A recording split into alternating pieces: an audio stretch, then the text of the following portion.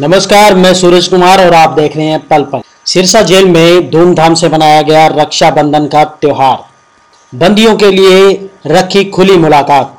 बहनों ने जाकर बांधी अपने भाइयों को राखियाँ। वहीं जेल प्रशासन ने बहनों के लिए उपलब्ध करवाई सभी तरह की सुविधाएँ।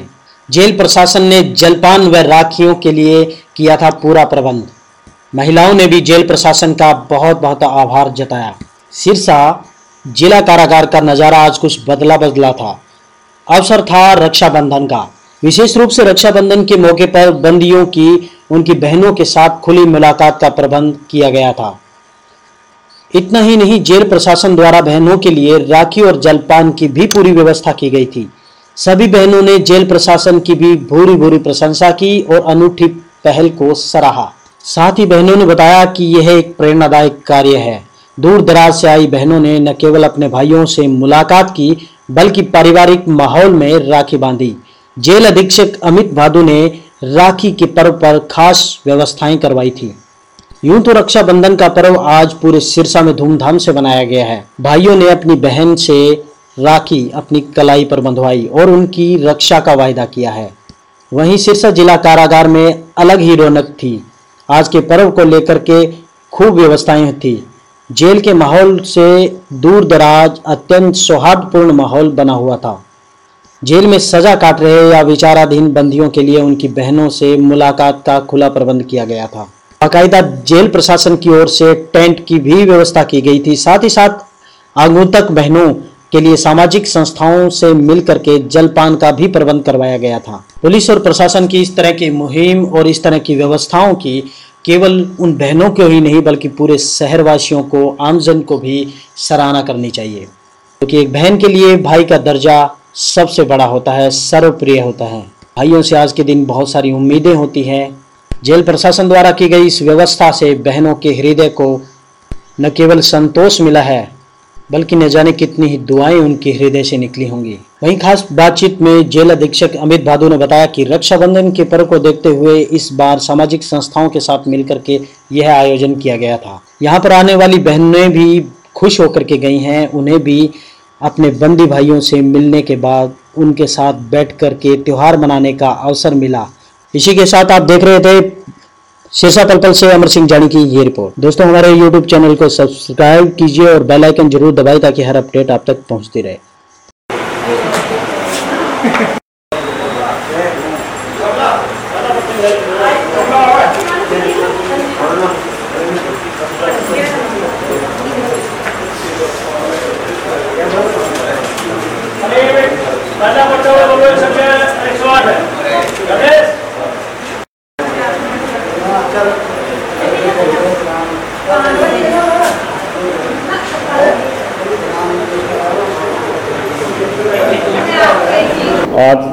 रक्षाबंधन का पर्व बड़े धूमधाम से मनाया जा रहा है जेल में। आज संडे की वैसे तो मुलाकात बंद होती है, लेकिन रक्षाबंधन का त्यौहार होने के कारण डीजीपी साहब के आदेश थे कि संडे के दिन ही मुलाकात करवानी है। तो सभी बंदियों की जो बहनें मिलने आ रहे हैं, उनको आमने सामने फेस टू फेस मुलाकात करवाई जा रही है। नहीं, बाकी रोज तो शीशे से इंटरकॉम से मुलाकात होती थी। और इसके लिए इंतज़ाम रक्षा सूत्र है, मिठाई है तिलक है, सारा हमने जेल प्रशासन की तरफ़ से किया है, डीजीपी साहब के आदेश से। ताकि बाहर से कोई सामान अलाउ हम नहीं कर रहे आज के दिन। और जो भी बहनें बाहर से मिलने के लिए आ रहे हैं, उनके लिए चाहे नाश्ते का, पकौड़े का इंतज़ाम एक लाइन्स क्लब डायमंड है, उसके सहयोग से किया जा रहा है। जो भी बहनें अपने भाइयों की राखी बांधने के लिए आज जेल पे आए हैं, उनको बाहर चाय, नाश्ता भी दिया जा रहा है। ये एक लाइन्स क्लब डायमंड के सहयोग से हो रहा है। एक संस्था और है, ये हर पर्व आसरा सिमरन के अंदर जो इलाहाबाद में है, उन्होंने आज सभी जेल के बंदियों के लिए जलेबी का इंतज़ाम भी किया है। सभी बंदियों को जलेबी का प्रसाद देने का लिए तो उस संस्था ने जलेबियाँ दी है। मुख्यालय के आदेश से हमने इनको खीर का इंतज़ाम और दो दो लड्डुओं का इंतज़ाम किया है सभी बंदियों के लिए। तो आज का त्यौहार ये बड़ी अच्छी तरह से मनाया जा रहा है जेल में।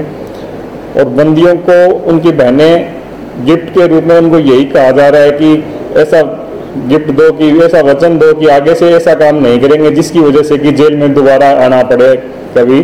तो इस तरह का वो वचन ले रही है अपने भाइयों से और बड़े अच्छे खुशी मन से राखी बाँध के जा रहे हैं।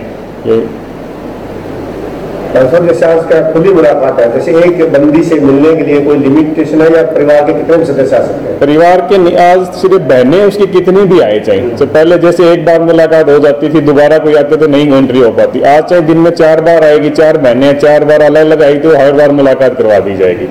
जिस बंदी का हक भी नहीं बनता, कोई भी हो, आज जेल में जो भी बंदी है, उसकी बहनें आएगी तो उसकी मुलाकात आज करवाएँगे राखी बंधवाएँगे।